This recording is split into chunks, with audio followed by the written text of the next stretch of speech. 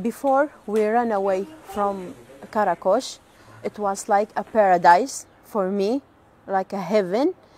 Uh, and after I returned, it was like a hell.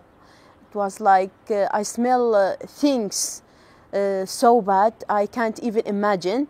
Uh, blood, uh, dirt, bodies, and it was like a ghost, a ghost town. No lights, no nothing in it. Noor, her husband and little daughter are amongst about 5,200 families who've returned to Qaraqosh, Baghdida in the Syriac language, following its liberation from Islamic State in October 2016. Amidst ransacked dwellings, destroyed streets and razed churches, the Syriac Christian community started making plans for the recovery of their hometown, everyone trying to contribute however they could. Noor, an architect, joined the town reconstruction committee.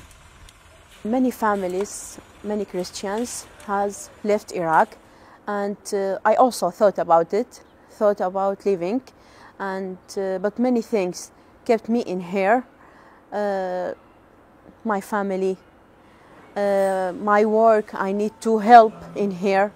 So that's kept me from leaving.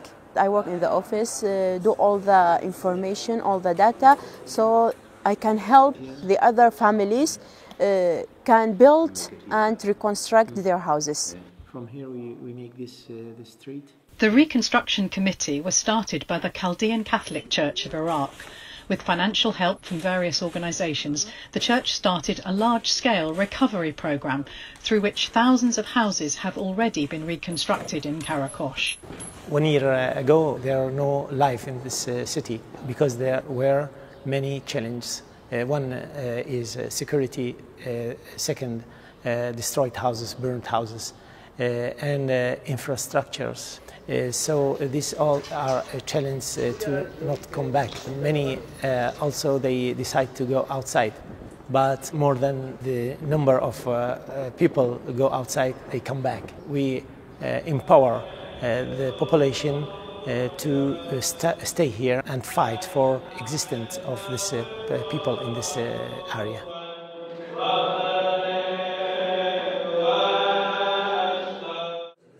Father George hopes that the reconstruction efforts will make people who have found refuge elsewhere believe that there is still a future for Qaraqosh and pack for a return journey. This is all Qaraqosh. It starts from here. There are a lot of lanes, tiny lanes, but actually most of the houses are demolished here because either because they are old or they, they have been destroyed or burned by Daesh. Dr. Anis Behnam is Vice President of Al Hamdaniya University for Administrative Affairs and Chairman of its English department. He says that Syriac Christians have had a significant role in the region, not just in building it over the centuries alongside other nationals, but also in providing the best professionals in the modern era. And that most doctors and teachers in the area traditionally come from the Christian community of Qaraqosh. He himself is deeply rooted in the town. This is, you know, the place where, where I spent most of my, my life. I've been brought up here and I, I love it. I want to stay here forever. And I cannot find myself elsewhere. And tried my best to do that, but I failed. So this is the natural place that I would like, you know, just to stay forever and to be useful in my community current efforts to rebuild are backed up by certain lessons from history, Dr. Behnam continues.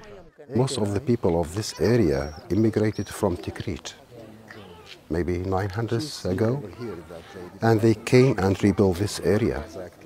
So we had, we had a lot of experiences from the past, and we, we may rely on them. Where there is, there is a will, there is a way. We are emotive people by nature, okay? If I'll not do this, I don't think that my fathers and grandfathers would be happy. So we will do that for their sake.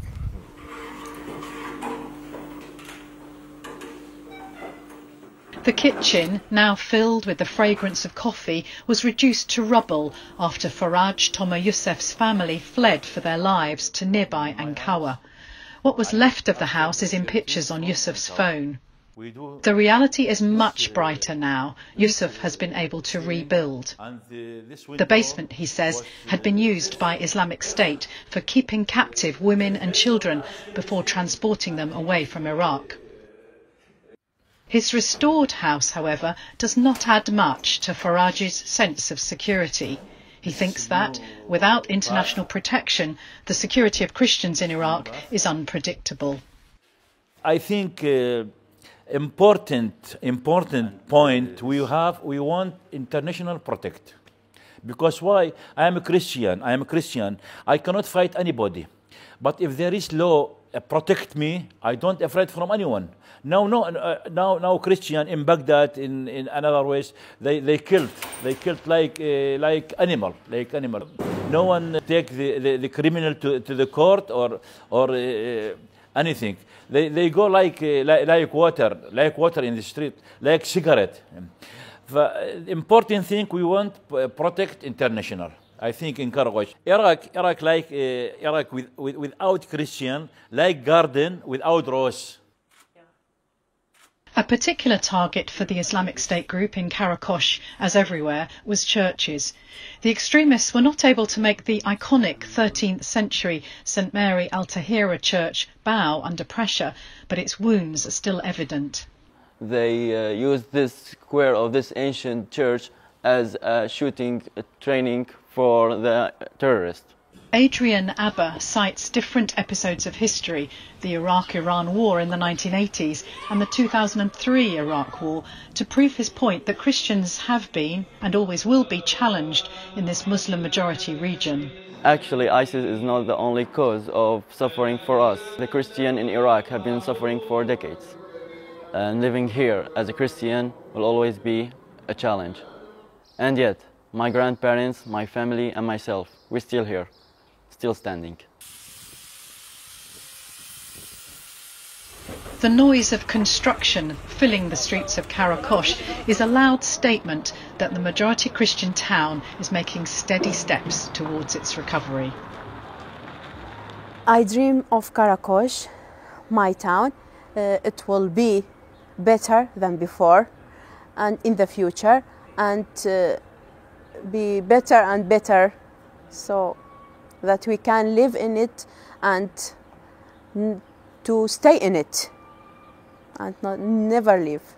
You know, I am yani, fully confident that, you know, the future, maybe the near future of this place would be something great. Okay, we can do it. We can manage it.